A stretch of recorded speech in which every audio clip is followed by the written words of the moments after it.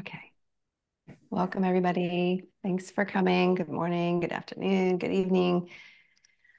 Yeah, was saying I don't like to do these videos just me recording. I like to have people in front of me, and and then uh, that would be wonderful that you showed up. So thanks for coming. Um, the way I want to have these kind of go, we're just focusing on one topic today. We're going to focus on twists. And I have a little bit of a, a presentation I want to give so that we have sort of this visual that we're all working on. So sometimes it's a matter of sort of understanding what are we asking our body to do and what is what is there that we're up, up to. And then I'll take you through an experience of a twist or two or sort of the principles of twisting in general or revolving and things like that in yoga and we'll open it up for for q&a after that. So i think it'll be about 20 minutes maybe a half an hour. I'm happy to stay on as long as you have questions but um, that's kind of how i wanted to go. All good? All good. Okay i'm gonna um i'm gonna mute you all just for now. Oops sorry i didn't mean to click that diane. Um uh, i'm gonna mute you all for now just for the recording piece all right, and then I'm going to share my screen and we'll do this. All right. All right, so we're here. We're going to be doing these this today and next Tuesday and the Tuesday after that on these topics, twisting and forward folds and cat cows, because those are kind of the the main um, frequently asked questions I get when I'm teaching yoga, like how do you twist? Or you're told not to twist. So how do we do that safely and wisely? And how do we forward fold? And then there's there's this fear of cat cow somewhere. So we're going to talk about that on April 2nd. Um, so how to twist? We're talking about what's the spine able to do, right? So we think of the spine, it has its natural curves. It's separated between bone and soft tissue. Um, for better or worse, like everyone's spine is in a different state of, of condition at this point, right? But this is the general shape of our spine. Um, this is the general um, makeup of our spine. And we have in the Western world delineated certain segments of our spine, which are going to be important when we talk about twists, right? So the upper part is has a special um, location outside the body, almost outside the torso, and it's called the neck, and we call it the cervical spine. There's there's seven cervical um, discs up there, or vertebra rather. And then the green section is around our upper spine, our torso. It's all attached to the ribs. So it has a particular connection to, um, to the breath itself in particular. And it has a, um, it's uh, has a you know a curve in itself. Sometimes we think of having our spine be super straight, but we have to understand that there's these natural curves that our spine has, and each of us has a slightly different um, degree of curve in our spine, right? And then the purple section down there, it's considered our low back. You can feel it. It's a lumbar spine and it, it kind of curves forward. It's got a lordotic curve in it. Um, this is where we get our DEXA scan taken because there's no obstruction from the rib cage. So we can go right through the belly area and see what those bones are doing down there.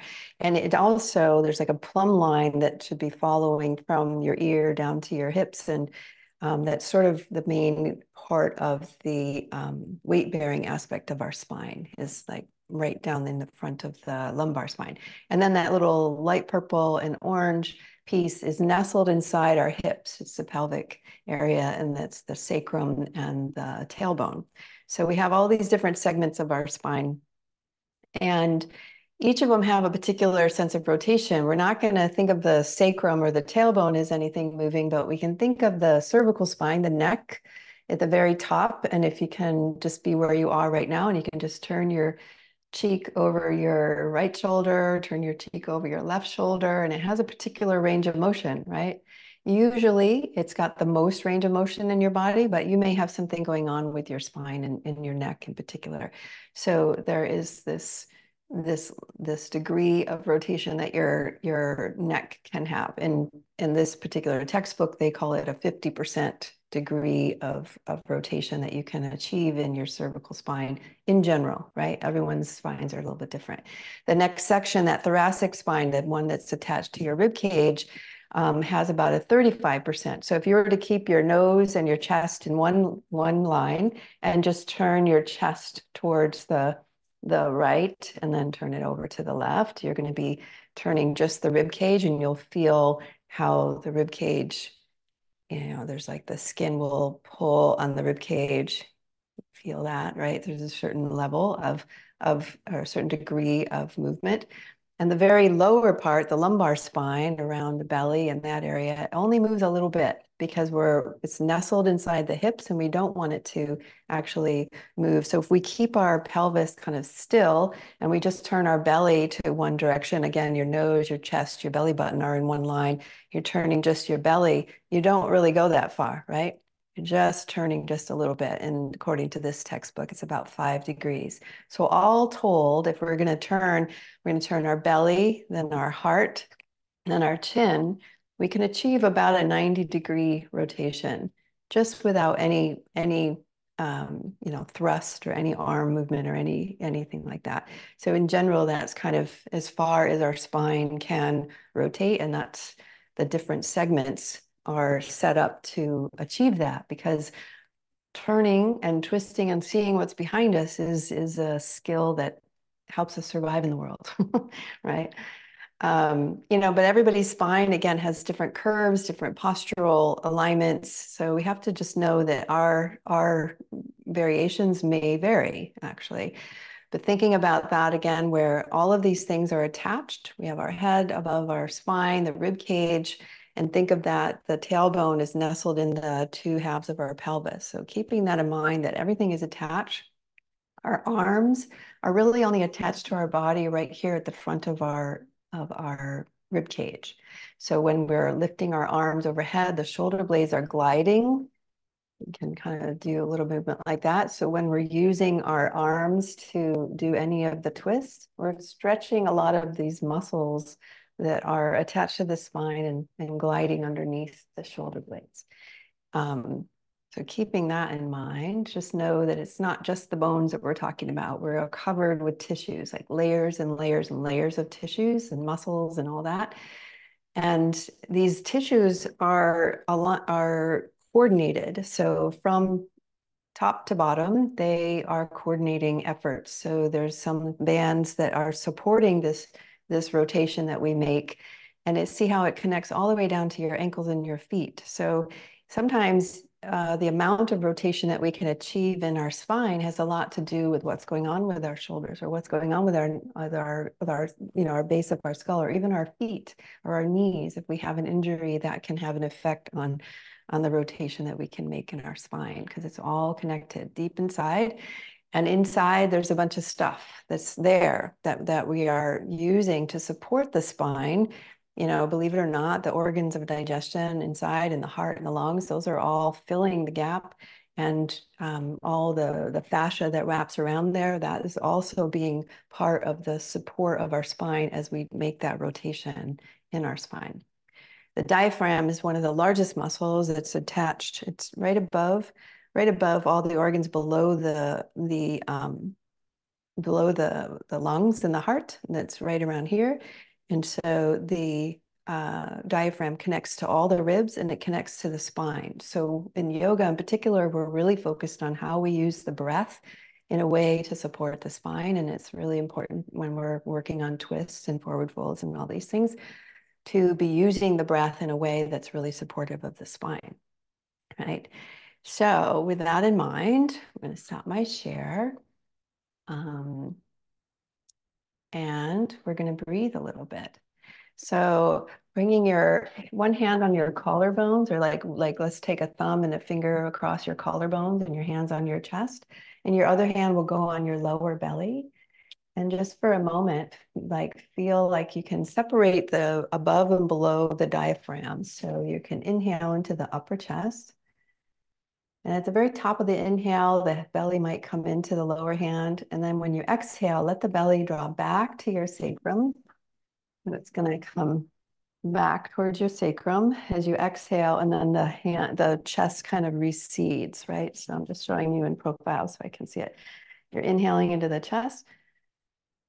The belly kind of comes out at the very top of the inhale. And then you exhale, you let it go back and everything recedes the spine hasn't really moved, but if you do this enough, you can start to feel when you're inhaling, the hands might come slightly apart from one another. And when you're exhaling, they kind of come slightly closer as the chest recedes, right? a couple more times like that, just feeling how there's length. We're finding axial extension in the spine, like there's space. Whoops, got a little thumbs up on my gesture. And then exhaling, we'll keep rooting. Nice. So with that in mind, um, actually, I'm going to take my chair here. So it looks like most of you are sitting right now, and I'd like you to, whether you're sitting on a chair or the floor, that's fine. I'm just going to sit on my chair so you can see me a little closer. So you can be sitting upright and then thinking of that inhale into the chest, you get nice and long. You're going to exhale, belly goes back to the sacrum and turn the belly, the heart, and the chin over to one side. And then you inhale, come back. So the inhale comes back to the front. And then exhale, you're going to do the other side. Exhale, belly goes back, belly, chest, chin, over to the other side. And then coming back, inhaling. Can release your hands and just have them on your thighs or wherever they feel more comfortable. And we're going to also do that with the breath. So your inhale, you get long, think the front of the spine is a little extended. Exhale, draw the belly back and turn the belly, the heart, the chin, and maybe complete it with the gaze. So you're looking over one shoulder. And then you inhale, come back, bring the chest forward. Exhale, belly, heart, chin. Nice. And then inhale, coming back. So that is like the the gist of how you're going to be rooting the the sacrum. You're rooting that that part that only moves about five degrees. You're like letting keeping space, but you're rooting, and then you're turning the chest and then the the chin over to the other side. Okay. So um, a couple more things I want to do, and then we'll open it up for uh, for Q and A if we're going to be in a pose where we're using our arms a bit more, so sometimes we're going to be using our arms. So I'm going to be, well, actually, let me sit down on the ground for this. So we're going to be in a seated twist.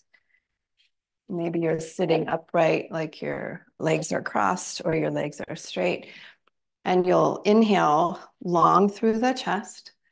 And exhale, turn the belly, the heart, the chin, and you're holding on to a knee perhaps. You're keeping yourself nice and vertical. And then spend a couple breaths there twisting and breathing. So feel what it feels like to be twisted and breathing.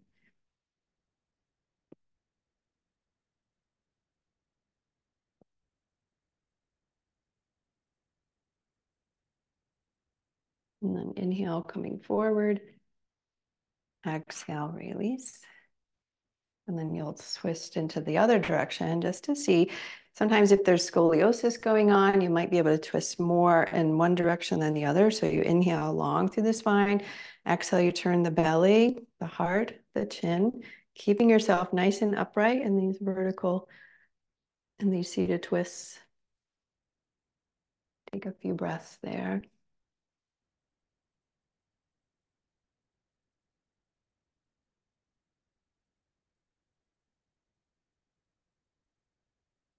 And then inhale, looking forward, exhaling, release. I want to do one more thing. We're going to lie on our backs. We're going to um, feel what it feels like just to use that lower belly for your your twist. So this way, with your back on the floor, your spine is secure.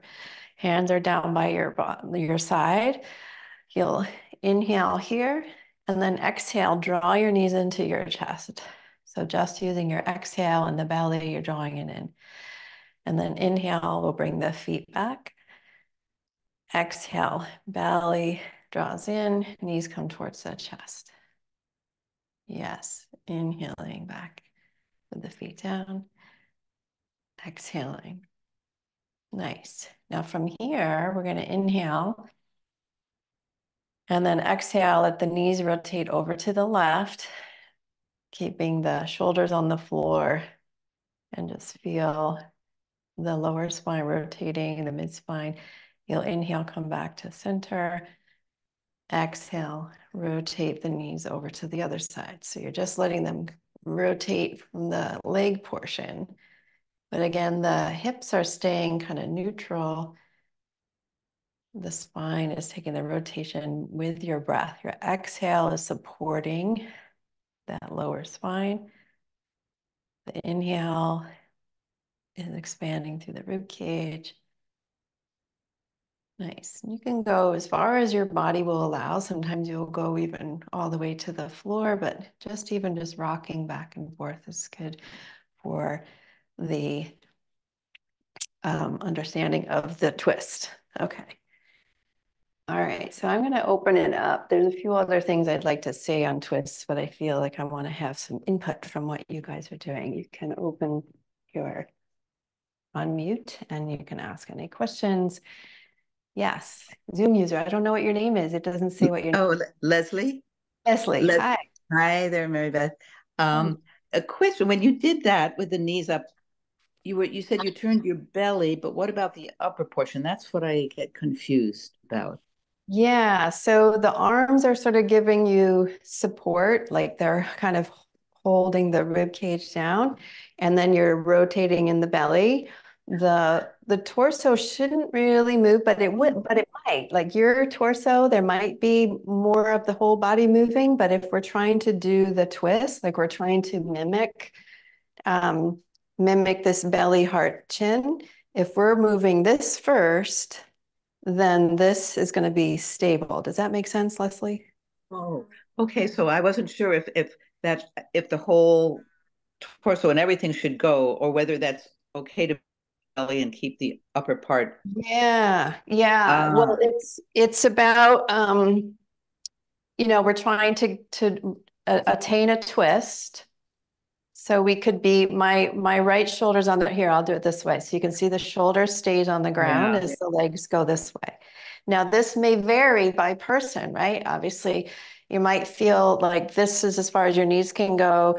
Some people can go all the way to the other end and keep the shoulder down. Otherwise, if the legs go here, the, the body's going to come up. Right. It's, it's, but using the bot, using the breath, you can sort of find that spot where you can feel supported and not like hanging on for dear life, right? Mm-hmm. Okay. we don't want so, to hang on for dear life. So my, I guess my question was with osteoporosis. I guess I thought the whole everything should move and not twist with just one part of the torso and the hips moving. That's yeah. where I got confused. So it's okay to separate them out. It is, and especially if you're using the breath. I really want to oh. emphasize that. So the thing is with if we're using the breath, we're using that that um, sort of bracing, I guess you want to say, in an exercise term, you know, where we're supporting the spine and we're rotating, and we're using like all those layers I was showing in the in the presentation mm-hmm. before. The whole body is going to be supporting this, so that the right. bones aren't doing this all on their own. Ah. And and going only a little ways for a while until you feel like the the tissues are going to, if it feels good to just go all the way over and, and very little twist is there, that's fine too. But it's not like we have to do that if we have osteoporosis.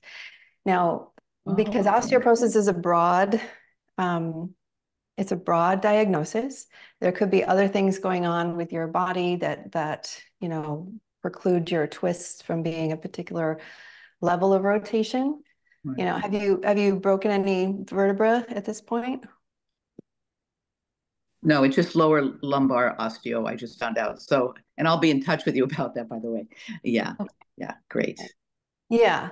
Thank you. and you. all of our tissues need some stimulus. So I think it's important to do the twist mindfully, vertically when we're seated, you know, gently when we're on our back. There's some standing twists we can do in a minute too. Joan, did you have a question? Yeah, it's kind of related to the Thank same you. I'm sorry, so it's kind of related to the same twist that you're talking about when you're lying on your back. But what about if you're doing it with just one leg? Is that okay too? yeah, that's a good question. Yeah. Um, it's definitely okay. So um, you're, and, and again, you're using the breath. I can't emphasize that enough. So you maybe have one leg straight, you're saying, and then you have one leg and you bring the Right. one over. Yeah. Exactly. So again, you're like securing the base of the spine with the exhale, keeping the inhale open, and just going where you start to feel. You know, I think with yoga, we need to like be paying attention. Where are the sensations? Am I feeling it in the tissues on this? You know, because we first interact with it from the skin level, right? We can feel the skin. And then there's something that may stop us, like whether it's tight muscles or bone on bone, but like it's the same principle where we're supporting the spine with the breath. And, you know, so, and, and if the shoulder comes off, we don't need to go that far. You know, I'm not big on, you know, attaining a particular, I don't know, attaining a particular shape for the sake of the shape. It's like listening to where our body will go. Does that make sense, Jim? It does. I, I just want to make sure I'm clear or something. So it's the exhale that supports the spine. Both the inhale Both and the exhale Both support. The exhale supports the lower spine. The inhale, where you're using the rib cage, is supporting the Ah, okay. spine. I got it. Okay. Thank you. Yeah. Yeah. That kind of leads me to my sort of question is that I get mixed up all the time about do I breathe in when I turn or out when I turn and do I breathe out when I I get all mixed up especially like when I'm doing cat cow is it that I breathe in when I go like this or is there any kind of like mnemonic or cheating thing that you know of that I could like think of That's a really great matter, question. right? Yeah. Yeah, like so here's here's what I know from a yoga perspective. And you can think of this um, what we're trying to attain when we're using the breath and the spine is axial extension. So our normal back bend, why does that I keep doing that? Our normal back bend, um, you know, I mean, sorry, our normal upper back has a curve in this direction, right? So if we're trying to lengthen that space, it's an inhale, right? And so you're thinking that the upper spine is expanded and the front of the spine is expanded with the inhale. And then our lower spine is curved in this way. And so that's going to be lengthened by an exhale, right? So Maggie, to think of it, I think of it in um, is that the inhales expand and lengthen the front, and then the exhales expand and lengthen the back as you're supporting the front. So you're lengthening the back. So the front of the spine lengthens with the inhales, the back of the spine lengthens with the exhales.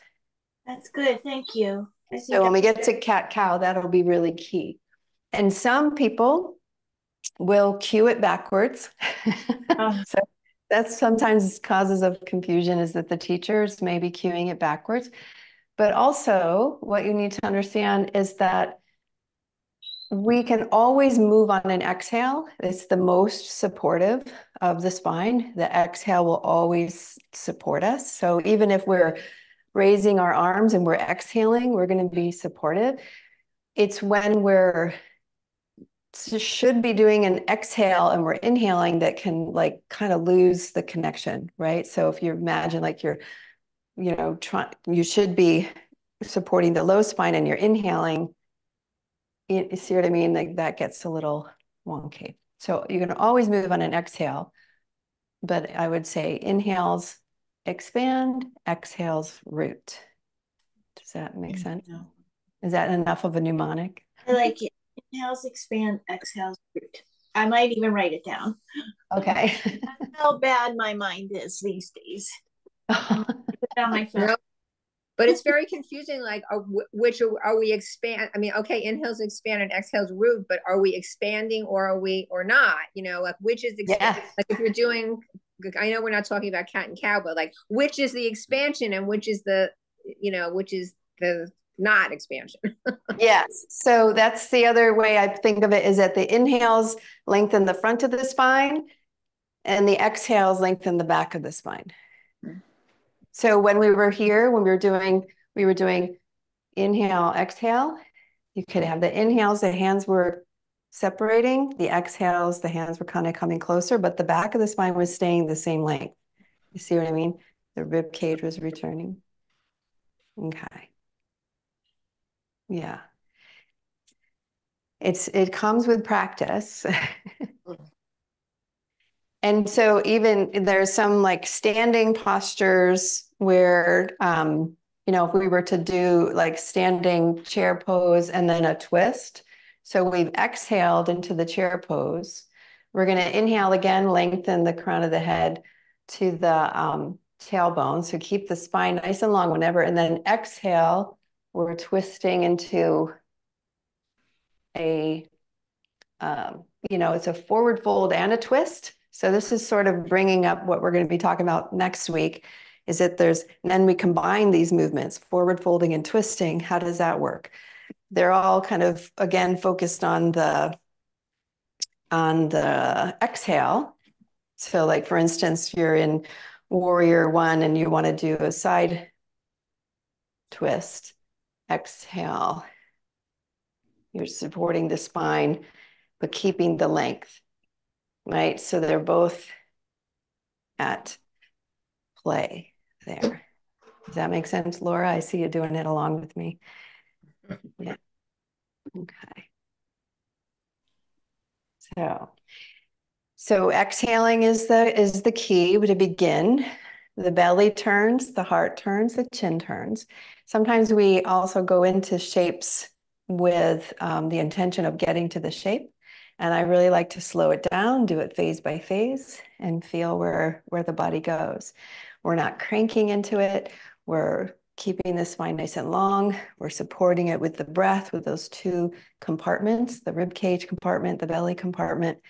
And, and that all of that stuff in our body is supporting the spine, right? So the um, question earlier with the whether you can do it with osteoporosis.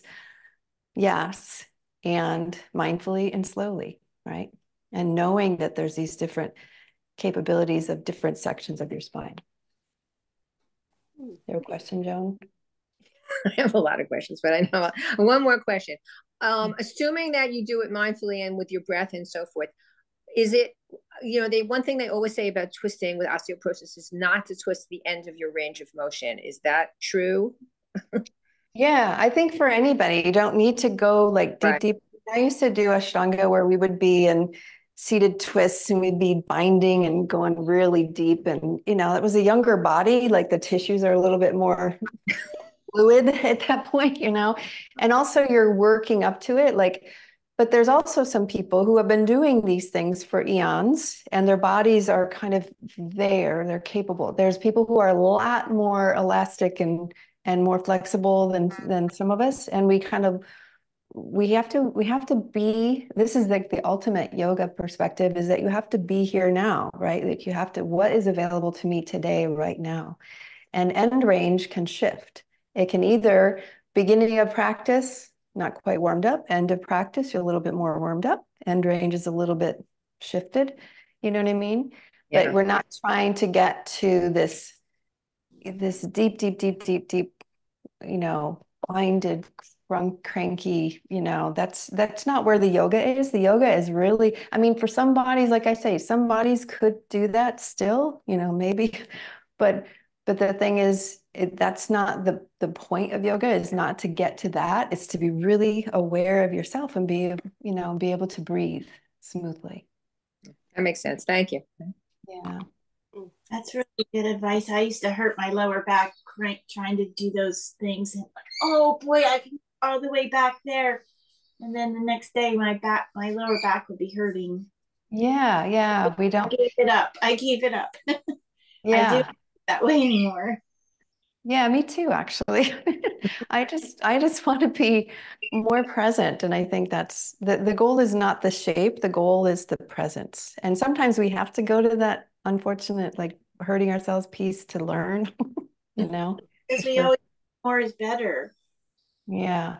And it's also a little tricky when you're in a class and other people are doing it and you want to be, you know, attaining what Mhm. other people are doing. And, Yeah. um, you know, the mind, the ego is always uh, part of the, the game plan here. Um, and just knowing that it is your practice, your body, there's different things going on with it. You know, there's some people who can't do any twists because of their they have fused spines for one reason or another. You have to really not take these blanket statements. One of the reasons I wanted to do these little lessons was that, you know, we hear, oh, don't twist, you know, but it's but it's such a variable depending on who you are, what you are, what's your experience, what you understand about what we're actually twisting, um, and what you understand about the goal of yoga, right? So, you know, sometimes it's just fun to, to, um, I don't know, exercise, do a bunch of things, but we also want to not, not move, right? that's the, that's just as detrimental as going to the end range, right? Going to zero range is not, not good. I feel like one of the advantages of having done yoga, being doing yoga on Zoom, but sometimes I go in person, but I on Zoom is like I just make it so the teacher is the only thing I see on the screen. And then I'm not, I can't compare myself to anyone else because they're not there. it's just me. As to when I go into the class with everyone and all the mirrors, you really, you could start looking at other people, you know, could start yep. doing. So yeah, I agree. Totally agree. Yeah. You're welcome, Patricia. Um, yeah, it's uh yeah, it's very true. And and also don't compare yourself to the teacher. No. You know, because my body is very different from your body and you know, just as much. And I try to keep my cueing as general as possible or give you options or things to look for or landmarks to consider in what you're feeling. It's really about what you're feeling and not what it looks like. Um, and again, it's like different day, different different circumstances, right? Like it could be stiffer one day or less than other days. Have any questions, Diane? No, I think that's all pretty pretty good actually. Um, yeah, I think the breath is the key. I think that's what I'm beginning to realise that, be quite honest, breathe and then you go where you go. Mm-hmm. Where you don't go the next day, and and that's pretty pretty apparent, I think now. So it's it's all good. Yeah. Um, really, I take it that when I'm doing twists on the floor, if my shoulder leaves, my shoulders leave the floor, then I stop. So I keep my shoulders on the floor, and I know that if my shoulder starts to leave the floor, that's when I've probably gone too far. Yeah. So, I, so that that's how I think about whether or not that's right. I don't know, but I kind of think, well, if, if my shoulders need to stay on the floor, then and that's part of me breathing, then if I'm lifting it up, then I'm probably not really twisting the right part of my spine. I'm twisting the top where the top doesn't need to go. I'm not sure. Yeah, yeah, yeah. If you're all of a sudden the whole body's going in one direction, you kind of lost the revolution in the spine, and and that might be where you need to go to uh, to feel it in a different part of your spine. But if you want to feel it in the upper spine, you want to have the spine back here. You know, like you notice, yeah, there's a lever, and you know, and and doing it like in the Vinyasa way, we do it you know, we'll do it multiple times. We'll inhale in one direction, exhale in another direction, and then you start to the joints will go. In, it, your uh, there's these these receptors in your in your tendons and things that'll start to go. Oh, we're we're safe here. We don't need to be super tense, and we don't have to be super late. You know, we can find that middle ground of how much we can rotate and still feel supported and and that. So it's the body slowly listens to itself, right?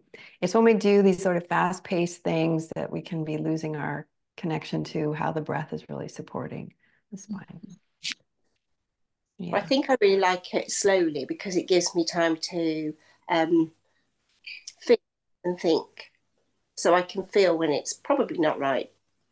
Um, yeah. And, I like to do it slowly. That's why I appreciate um, your classes because it isn't based on doing a shape, it's based on where we're going or where we're trying to go, where we're not going, but how we're going to do it. So that's why I, quite, I like it. It's good. It's inter- it, It's really informative, actually, Mary Beth. Really. Good, good. Yeah, yeah. It's the how and and the why, understanding that, and then how do you translate that to your body, not just the what. Yeah. Yeah. All right. Well, so next week is forward folds. So we kind of get into that idea of how does the spine go in this direction? And, you know, there's a lot of things about not rounding your spine. We'll talk about what's what's that mean? What does that rounding spine when the spine does have natural curves? What does that mean when you're rounding your spine? And and again, uh, you know, the breath is important. Any other questions? I'm happy to stay on if you still have questions. Yeah. Okay. Thank you so much. Thank you very much. Well, thank you. Thank you. Okay. Take care, everyone. It's Good, thanks. Bye, Bye-bye. everybody. Bye-bye.